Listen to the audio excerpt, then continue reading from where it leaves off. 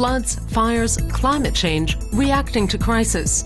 In the interview, environmental policy expert Klaus Töpfer. Klaus Töpfer, we'll talk about you in your capacity as a political animal and also as a very important voice in the global uh, environmental debate in just a minute. But I'd like to begin by asking you a question as a private citizen. When you're watching your evening news programs at the moment and you see the climate catastrophes, the floods in Pakistan, the floods in China, and the landslides, and the fires, the devastating fires in Russia, what's your response? How do you feel? I'm more or less uh, very close to be frustrated, but again and again I'm stimulating myself to avoid such a development. Frustration is never contributing to solutions. And I'm very convinced that there are uh, solutions, that there are very positive way out. We must be aware that we are going in a future where we will have more than 9 billion people on this wonderful blue planet Earth. Now we have 7 billion. When I was born 72 years ago, it was only 2.7 billion. So there are challenges. There must be a clear vision that Mother Earth might have limited capacity and that we have to use our brain to bring new solutions to the existing problems. And they have to do it in line with the conservation of nature. Okay, so let's establish one thing first. A, lot, a question that a lot of people are asking themselves at the moment when we look at these three major climate catastrophes. You are the former head of the UN Environment Programme. Who better to ask? Are they linked? A lot of people are asking themselves this question Are they linked? They are linked first and foremost with the fact that they have also human ingredients. The differentiation between nature catastrophes and human made catastrophe is overlapping more and more. If you are going and uh, invest a lot of money for channelizing a river, you will see that the same rain event will have totally other consequences for the disaster. The flood is higher. It will be uh, disastrous consequences if you are cutting trees, if you don't want to stabilize your soil, you will have erosion and you will increase the soil of the river and you will reduce the capacity in handling of water. So there are all those integrations. If you have a forest mainly concentrated to production of wood, something like a wood production factory, the consequences for disasters are totally others as if you have a nature forest. So they have common ingredients. And if you go to Pakistan, you will see it again of course, there was a huge, huge, huge a nightmare of a rainfall.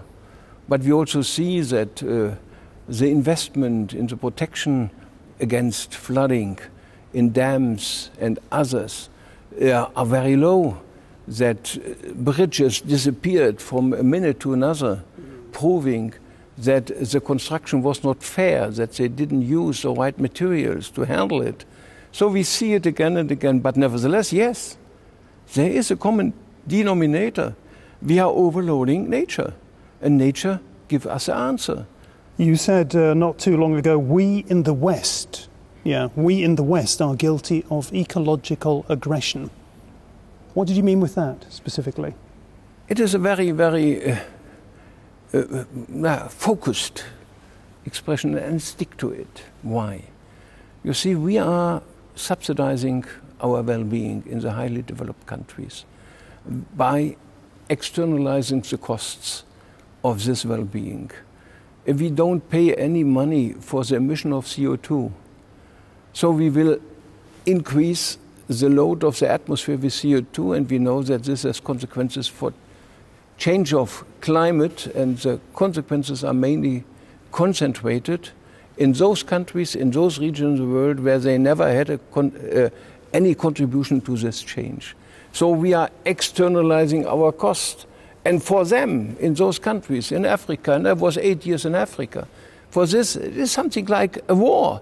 It is decreasing their possibility to overcome their bottlenecks of development, their living conditions.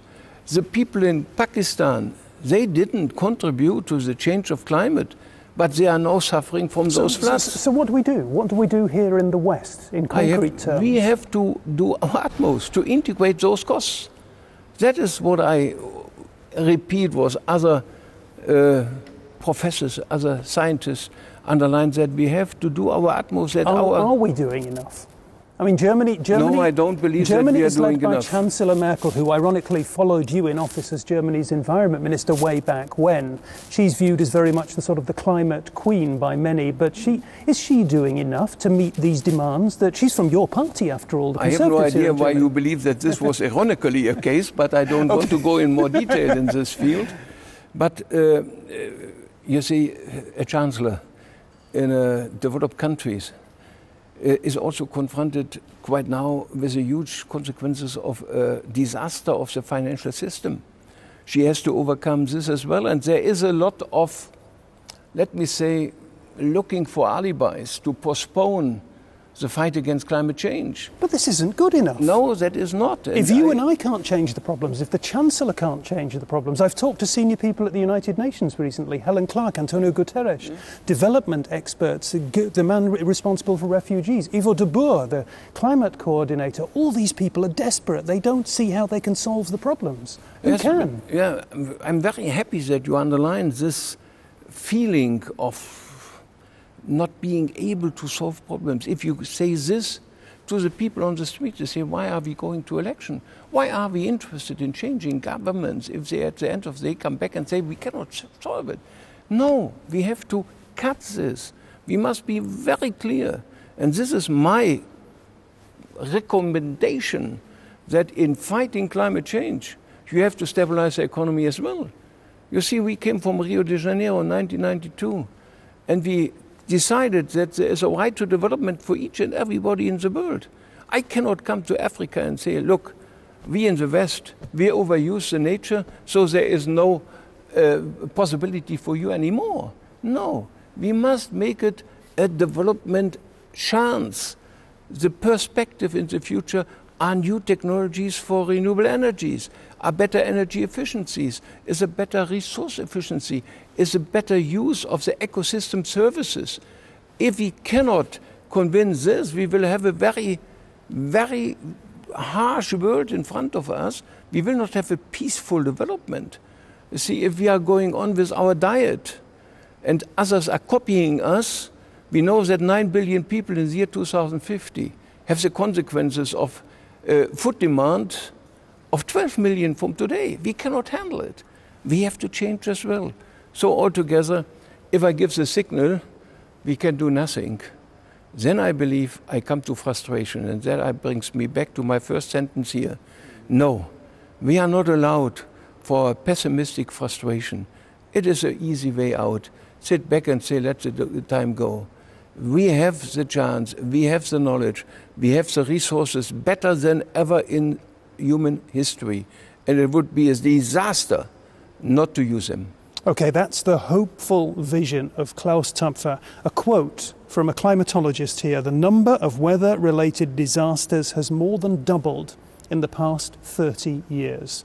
I want a yes or no answer now, not a, not a sort of a feel good answer. Yeah? Yeah. Is the number of climate catastrophes going to double in the next 30 years? Yes or no? No. Because I'm convinced that the world, the responsible people in the world will act. They will adopt and they will mitigate. And therefore I say no. Klaus Töpfer, I hope you're right, and thank you for talking to us today. Thank you so much indeed.